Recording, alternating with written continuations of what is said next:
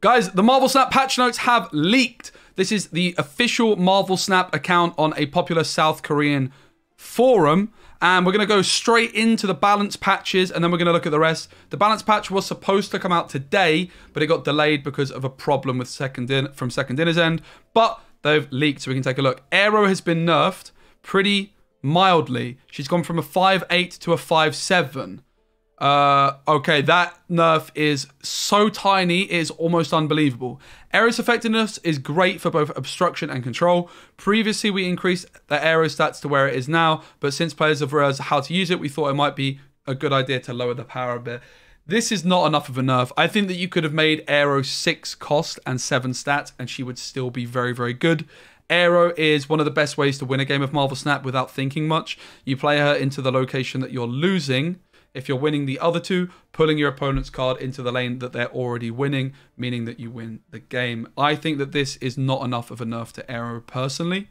Galactus has also been nerfed, uh, going from a 6-3 to a 6-2.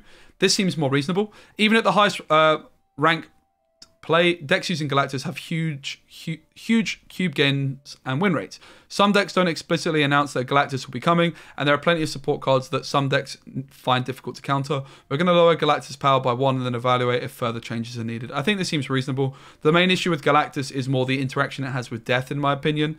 Uh, leader's also been nerfed by a point. Many players are picky about leader effectiveness, and the ability to stop the game and make it difficult to play other six cost cards has often been a mixed bag.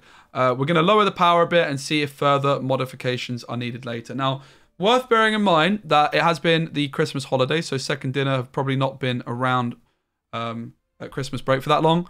I think the Galactus nerf is fine by one point, but I must admit, I think Aero and Leader nerfs by a point is pretty underwhelming. I think Leader could have easily gone to one or two power, and I think Aero should be a six cost card in my opinion because of how powerful her ability is. I don't even think it's a like the fact that you can play Aero and a one drop on the final turn is so broken. It is quite unbelievable. So I think this is not enough of a nerf to Aero. Most people don't play Aero in a one drop on turn six because she's just that good. You don't need to. But yeah, this is not enough of a nerf. Like her power is somewhat irrelevant in a lot of situations, but then she's also got a massive body. Like her, this is not enough of a nerf. No way. Um, Nova's gone to a one-one. That is really interesting. Uh, so it's been nerfed by a point. Nova's effect is much stronger than other one-cost cards, so we didn't think it was appropriate for Nova to have the average stats of one-cost card. I actually agree with this change. and this is a nice change. Uh, Nova doesn't see that much play. Um, it does see a decent amount. It doesn't seem like super broken, but yeah, like you destroy Nova, and that's where you get the payoff. You shouldn't also just get a two cost card if you don't destroy it. I think this is a, a nice change, to be honest. Drax has changed as well. Um, it's gone from a 4 4 appears. If your opponent played a card in the zone, give it plus 4 power, to a 4 5. If your opponent has played a card in the zone, give it plus 3 power. So this is actually a bit of an interesting one. It's a nerf to Absorbing Man synergy with Drax, because previously Absorbing Man's buffing by 4 with Drax, now it's only buffing by 3. Uh, but it's better if you miss the prediction. So it's definitely above the Drax overall, for sure. Uh, it's got a lower floor and the ceiling has stayed the same. It's still playing for 8 points. The only downside is the synergy it has with Absorbing Man, which is very, very niche. Although it is going to be popular in Zabu decks, I would imagine. Uh, Groot, 3 3 appears. If your opponent played a card in this zone, give it plus 3 power. It's now going to be a 3 4 and you get two power. So the same change of Groot. Groot's still playing for just six points if you get the prediction right. But if you get the prediction wrong, it's playing for four points instead. So a buff to Groot as well, just a very small one. While you may think the Guardian's effects will create a lot of fun, it can also feel like an all or nothing game. We hope to increase Drax and Groot's base stats to lower the risk of playing cards and increase their attractiveness in the three and four cost card slots. Yeah, definitely like the change for Groot. I think Drax one is a bad time because of the synergy with Absorbing Man. This makes Absorbing Man worse than Zabu decks, but uh, I think it's fine. I think it's a nice change idea. Really cool that Hazmat's been buffed, in my opinion. Hazmat's gone from a 2 1 to a 2 2. We know there's some powerful looking Hazmat combo decks, but Hazmat's overall performance is not good. So in this update, we wanted to raise it slightly. Love it. Black Cat has also got a buff. I think this is much deserved. I think Black Cat's one of the worst cards in the game. She's gone from a 3 3 6 to a 3 7. So she's a more appealing option in a Hela deck now. She's the card that's just discarding from your hand if you don't play her on turn 3. Nakia also getting a buff is much deserved. We think Nakia's effect is an interesting mechanic, but it currently has a very low success rate. We want to buff up a bit to make it a more attractive option. So Nakia buffs two cards in hand by two, so she's now playing for six points for three, with some potential synergies with the hand buff stuff. So I think overall these balance changes are underwhelming.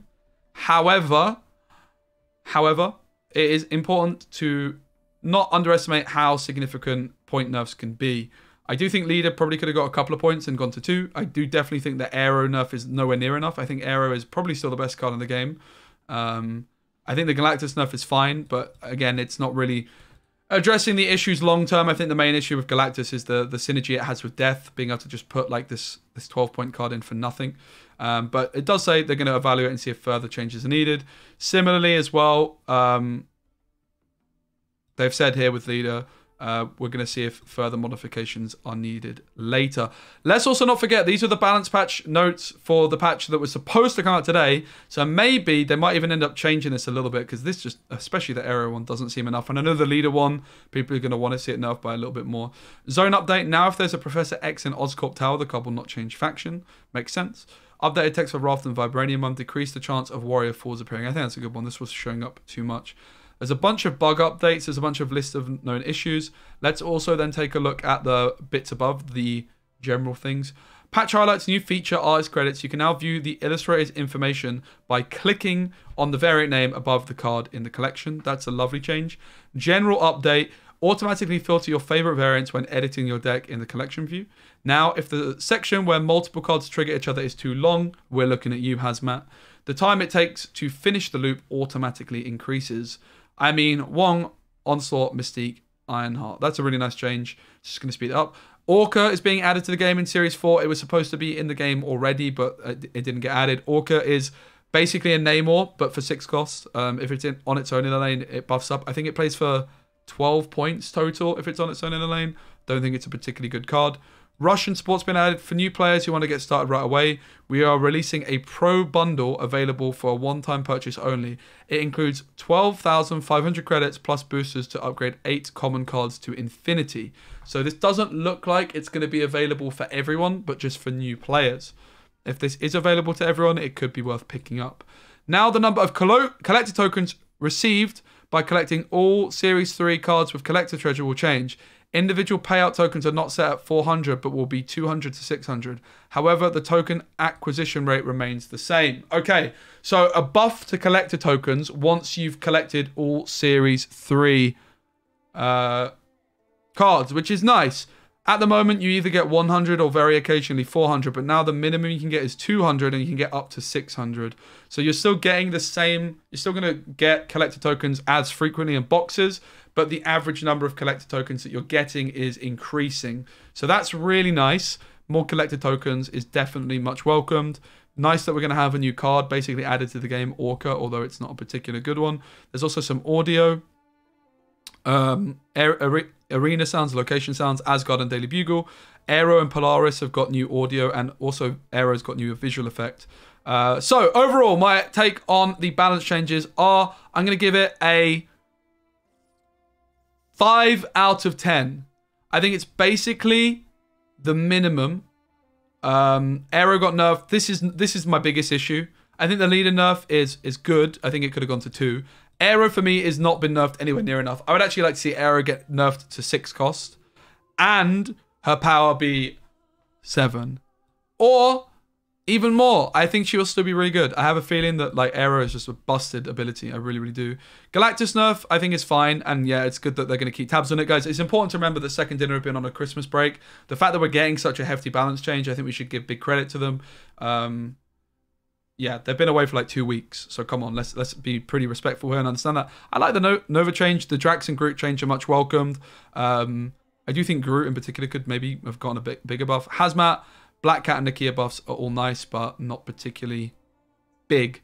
I mean, a point on Hazmat's big. A point on Black Cat's kind of big. I don't know if she's quite worth playing in any deck yet, though. And I think the same with Nakia. So overall, I give this a 5 out of 10. I'm very happy to see all the cards nerfed that got nerfed. I'm very happy to see all the cards buffed that got buffed. Uh, but I just think that they could have gone, particularly on Aero and Leader. That's going to be obviously what most people are talking about um, because they have survived and they're still going to be two of the strongest cards in the game for the next month.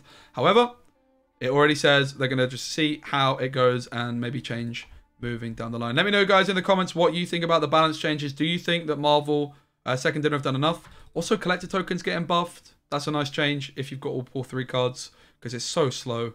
Um, so yeah, just just to confirm, the token acquisition rate remains the same. So whether this means that you're getting the same amount of tokens in the long run, I don't think. Bear in mind, this is Google Translated. I'm pretty sure what this is meaning is that you're getting tokens from caches as frequently, but the average number of tokens you get is going to be higher because you can't get 100 tokens anymore, right? Because otherwise, they would be changing the way collector caches work entirely. They would need to add like more avatars, and you'd be getting boosters and stuff more often. So I'd imagine they're not changing the, the token drop rate because that would also have an impact on all the other things, and that's not been mentioned. So my understanding is this might be a bit of a, a translation error, unsurprisingly, considering we're reading the Korean, South Korean patch notes. My understanding is, I would guess that you're getting them as frequently. It's just that the amount that you get is going to be higher on average. All right, guys, thanks again for watching the video. Give it a like and subscribe for more. Thanks.